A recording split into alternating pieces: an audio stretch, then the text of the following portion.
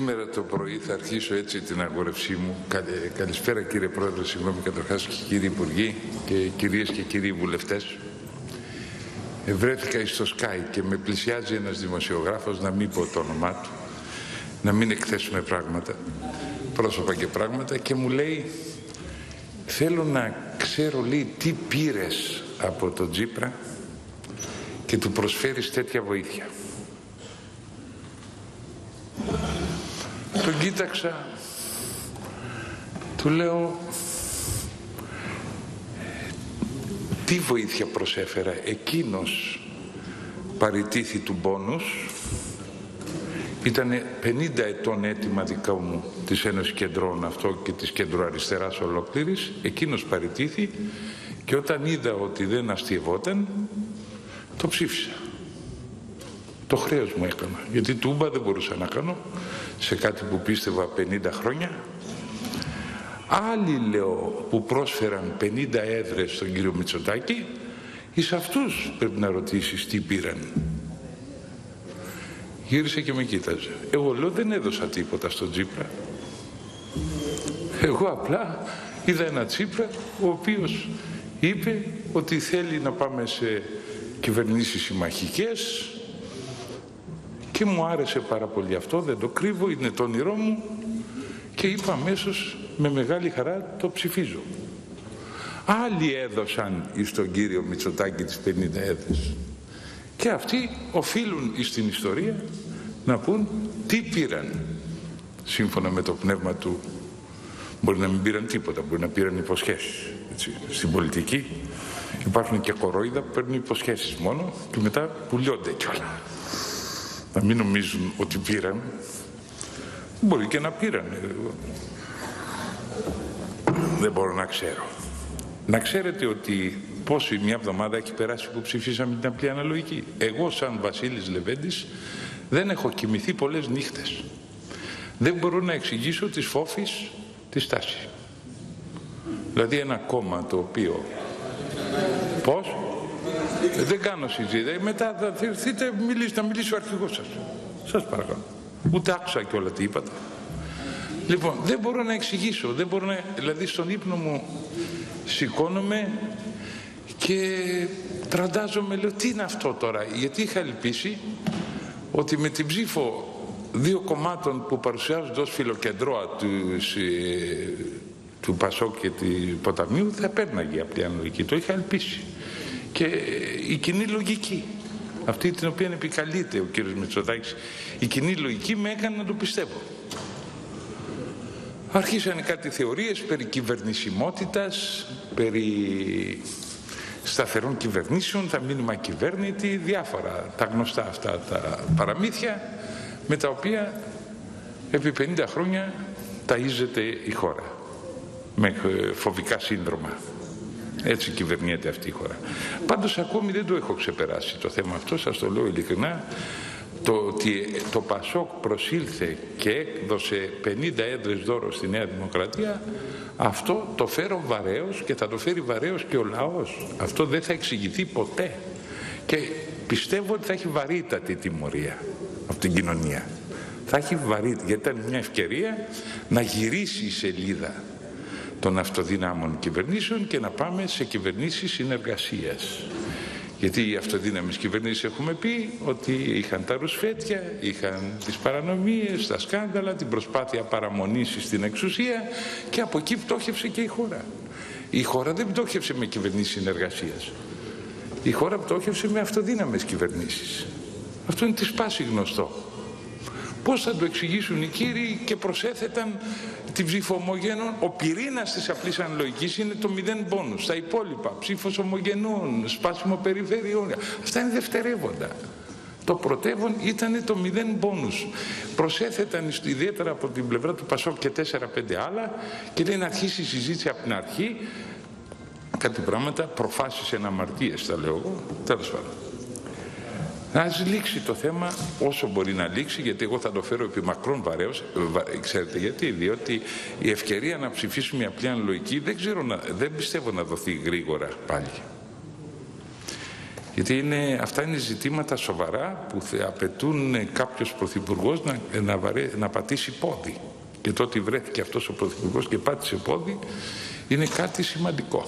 Εγώ διαφωνώ με την ασκημένη πολιτική εδώ και 1,5 χρόνο αλλά όταν είδα ένα πρωθυπουργό που τίμησε αυτά που μου είπε και εντωμεταξύ να ξέρετε πολλοί από εσάς τους δεξιούς με παίρνανε τηλέφωνο και μου λέγανε θα δεις θα σε πουλήσει, θα βάλει 30 πόνους θα, για να πάρει και την ψήφο και των άλλων θα βρει μέσες λύσεις και θα σε πουλήσει κύριε Λεβέντη μου λέγανε μέχρι την τελευταία μέρα και πράγματι έκατσα να ακούσω το Τζίπρας του Παπαχελά τη συνέντευξη και όταν διαπίστωσα ότι εμένει στο μηδέν πόνους κατάλαβα τουλάχιστον έχει σοβαρότητα ο Πρωθυπουργός. Διότι πράγματι εάν άρχιζε τις διαπραγματεύσεις με τους υπολείπους δεν δε θα βρίσκεται και δεν θα, ο μόνος τρόπος ήταν μετά να αποσυρθεί το νομοσχέδιο. Ε, για το θέμα της αναθεώρησης του συντάγματος που εχθές έκανε ο κ. Τσίπρας και εγώ πήγα με τίμηση αφού με κάλεσε, οι άλλοι αρχηγοί δεν πήγαν, ο καθένας έχει την ευθύνη του. Εγώ είμαι υπέρ του διαλόγου και γι' αυτό πήγα. Ε, Έχω κάποιες παρατηρησούλες, καλό είναι να τις ακούσει ο κ. Τσίπρας και από το γραφείο του που πιστεύω είναι τώρα. Στο θέμα της εκλογής Προέδρου Δημοκρατίας, καλό είναι να μην το πειράξουμε, ούτε με δημοψηφίσματα ούτε με τίποτε. Εάν θέλουμε να βοηθήσουμε να μην γίνονται εκλογές, να βάλουμε την τρίτη ψηφοφορία 160.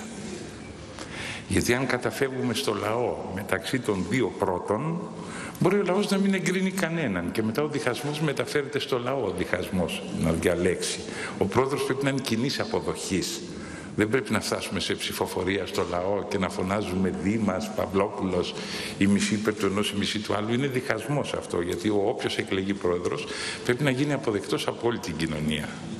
Στις εκλογές βγαίνει ένα κόμμα, σχηματίζει κυβέρνηση, ή δύο ή τρία, ε, αλλά εκεί πια είναι μια πολιτική επιλογή του λαού. Ενώ στο θέμα του Προέδρου που πρέπει να είναι κοινής αποδοχής, πολλώνουμε πολύ το κλίμα και διχάζουμε το λαό αν τον καλέσουμε. Θεωρώ λοιπόν ότι αν όντως θέλουμε να λιγοστέψουν οι πιθανότητες υποχρεωτικής προσφυγής στο λαό, καλύτερα να βάλουμε στην τρίτη ψηφοφορία τον αριθμό 160. Επίσης κάτι είπε ο Πρωθυπουργός να μην βγαίνει τεχνοκράτης Πρωθυπουργός. Γιατί έχουμε ταμπού; Θυμάμαι ότι ο Γιώργος Παπανδρέου πρότεινε ένα πετσάλνικο. Ήταν καλύτερος ο πετσάλνικος; Ήταν, μπορούσε να σηκώσει το βάρος της χώρας; Εγώ πιστεύω λοιπόν ότι δεν πρέπει να περιορίζουμε το ποιος είναι πρωθυπουργός.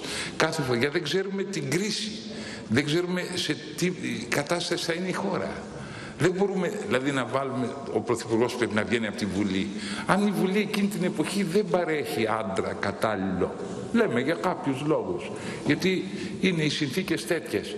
Θα βάλουμε εμείς βουλευτή γιατί το προβλέπει το Σύνταγμα αυτό, το, το θεωρώ και είμαι βέβαιος ότι ο κ. Τσίπρας θα το καταλάβει, κάποιοι σύμβουλοι του το είπαν. Ε, μετά στα δημοψηφίσματα να μην καταφεύγουμε πολύ γρήγορα γιατί είναι διχασμός συχνά στα δημοψηφίσματα. Στο εξωτερικό γίνονται δημοψηφίσματα σε πόλεις τοπικές, σε δήμους για τοπικά θέματα. Αλλά για εθνικούς λόγους ε, για, σε όλη την επικράτεια γίνονται πολύ σπάνια τα δημοψηφίσματα.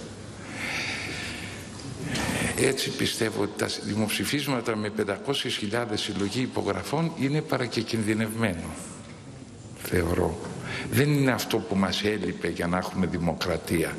Και το Σύνταγμα, λέω, έχω την άποψη, θα το πω και στον κύριο Τσίπρα γιατί έχουμε μια συνάντηση προσεχώς, να μην το πολυπειράξει. Το Σύνταγμα δεν πάσχει από ελλείψεις που πρέπει να καλύψουμε. Πάσχει από το ότι το πατάσουμε, δεν το τηρούμε. Είτε η εκτελεστική, είτε η νομοθετική, από εκεί πάσχει. Δεν πάσχει ότι έχει φοβερές ελλείψεις και πρέπει να το διορθώσουμε, να το ξέρετε αυτό. Γιατί κάποτε είχα μιλήσει με έναν πεθαμένο τώρα, τον Κωνσταντίνο Τσάτσο, που ήταν ο πρώτος στην, ε, νέος που ασχολούμενη τότε με την πολιτική, που ήταν πρόεδρος της Επιτροπής ε, του Συντάγματος, ορισμένος από τον Καραμαλή. Και του είχα πει κάτι για τα άρθρα 21 και 24 που είχε συμπεριλάβει, τα οποία εγώ τα είχα γράψει με τον Κυπριανό Μπύρη. Είχα γυρίσει από το εξωτερικό και τα γράψαμε για τους οικισμούς και για το περιβάλλον. Και δεν έβαλε κάποια πράγματα και του λέω είναι αοριστία έτσι που δεν το έβαλες. και μου είπε το Σύνταγμα είναι σοφό, διαμορφώνεται. Εδώ μου λέει η Αγγλία δεν έχει καθόλου Σύνταγμα και έχει συντακτική νοοτροπία, συνταγματική νοοτροπία κατοχυρωμένη. Τάξη δηλαδή, συνταγματική τάξη. Έτσι μου είχε απαντήσει. Μπορεί να ήταν κάποιας αποχρώσεως ο Τσάτσος, αλλά ήταν σοβαρός άνθρωπος. Λοιπόν, επίσης πρέπει να βάλουμε και επειδή στην Ελλάδα γίνονται ρουσφέτια και χρησιμοποιείται το κράτος για λόγους ε, ψηφοθυρίας, πρέπει να βάλουμε και το 3% να παραπέμπεται ο Πρωθυπουργός σε δίκη αν υπερβαίνει το 3% το έλλειμμα. Το στη Γερμανία το βάλανε για τον καγκελάριο. Ο καγκελάριος παραπέμπεται στη Γερμανία αν πάει 3,5% το έλλειμμα. Γιατί να μην βάλουμε και εδώ ένα κόφτη; Δηλαδή όταν βλέπει ο Πρωθυπουργός ότι το έλλειμμα, ελπίζω και ο κ. Τσακαλώτος να μην έχει αντίρρηση από αυτού, δηλαδή προηγμένη χώρα η Γερμανία και βάλανε όταν υπερβαίνει το έλλειμμα 3% να, να έχει δικαίωμα να εγερθεί ποινική δίωξη κατά του Πρωθυπουργού. Γιατί το βάλανε, για να φοβάται για να μην το υπερβεί, για να μην έχουμε αυτά που είχαμε εδώ. Έχουμε εδώ να συζητήσουμε τώρα περί μιας εξεταστικής επιτροπής. Η εξεταστική αυτή επιτροπή δεν θα ήταν κακό. Φυσιολογικά θα έπρεπε να την ψηφίσει και η Ένωση Κεντρών. Για να μάθουμε. Ό,τι είναι να μάθουμε δεν είναι κακό. Αλλά γιατί την επιμερίζεται μόνο στην περίπτωση του 2015. Ξεκινήστε τι κάντε την πρόταση από το 2004 να συμπεριληφθεί και η του Καραμαλή η θητεία, να συμπεριληφθεί και η θητεία του Γιώργου Παπανδρέου και πιστεύω να ψήφιζε και ο κύριος Τσίπρας. Δεν θα είχε αντίρρηση. Έτσι όπως το κάνετε επιλεκτικά η περίοδος η τάδε, έχοντας τη μειοψηφία, τι ελπίδες έχετε να γίνει, να εγκριθεί; Μηδαμινές. Απλά για να γίνεται εδώ συζήτηση. Απλά κάνουμε συζήτηση για να γίνεται συζήτηση. Αντί να είμαστε στα καφενεία, είμαστε εδώ, ας πούμε, και συζητάμε περί της ιδέας του Μητσοτάκη να γίνει εξεταστική. Αν ο κύριος Μητσοτάκης είχε αληθινή διάθεση να ψάξουμε την κρίση, την όλη κρίση, γιατί η κρίση μπορεί να ξέσπασε τώρα, αλλά μπορεί οι 360.000 που διόρισε ο Καραμαλής με στάζ ως μαθητευόμενος να ήταν πολύ σημαντικό ποσό. Μπορεί ο Γιώργος Παπανδρέου να έχασε χρόνο πολύτιμο και να απεδείχθηκε αυτός να τα ψάξουμε. Γιατί δεν κάνετε μια σωστή κίνηση και θα είχατε σίγουρα την ψήφο και ενός κόμματος σαν την Ένωση Κεντρών. Με κατηγορούν όλα τα site ότι είμαι του ΣΥΡΙΖΑ, πώς το λένε, δεκανίκη. Ακούστε κάτι. Δεν θα υπάρξει το μέλλον να αποδείξει ποιος αυτή την αίθουσα είναι δεκανίκη. Δηλαδή δεν θα έρθει και η άλλη εβδομάδα και η παράλληλη εβδομάδα να φανεί ποιος είναι δεκανίκη. Γιατί βιάζεστε. Εγώ δήλωσα ότι μπήκα στη Βουλή μετά από 35 ετών αγώνες για να κάνω την Ένωση Κεντρών αρχικά μικρή, μετά μεγαλύτερη και μετά πολύ μεγαλύτερη. Δεν κρύβω τη φιλοδοξία μου. Δεν θα ήταν λοιπόν ούτε έξυπνο από πλευράς μου να γίνω δεκανίκη όπως κατηγορούμε και προς τιμήν του δεν μου το ζήτησε ούτε ο Τσίπρας. Ειλικρινά όσες φορές τον έχω συναντήσει δεν μου είπε ποτέ, το λέω προς εσάς ειδικά τους βουλευτές γιατί εδώ μπορεί να μην το πιστεύουν. Δεν μου είπε ποτέ κύριε Λεβέντη θέλεις να μπεις στην κυβέρνηση. Ποτέ. Ποτέ. Και προχθές όταν τελείωσε χθες πότε ήταν η ομιλία του για την συνταγματική αναθεώρηση μου λέει επί των όσων ακούσατε παρακαλώ αν θέλετε να μου στείλετε εγγράφος τις παρατηρήσεις σας. Λέω αφήστε με λίγες μέρες. Εγώ διεκδικώ ένα ρόλο για την Ένωση Κεντρών να μεγαλώσει συνενετικό και θα πω και μια παρατήρηση να την ακούσει ο κ. Τσίπρας. Επειδή αν μείνει μόνο στην πρόταση περί απλής αναλογικής και συνεχιστεί η όξυνση αν συνεχιστεί η όξυνση, οι συγκρούσεις τότε θα του προσάψουν όλοι ότι να, την απλή αναλογική δεν την έκανες γιατί πιστεύεις στη συνένεση, αλλά γιατί θέλεις να κλείσεις το δρόμο του Μητσοτάκη.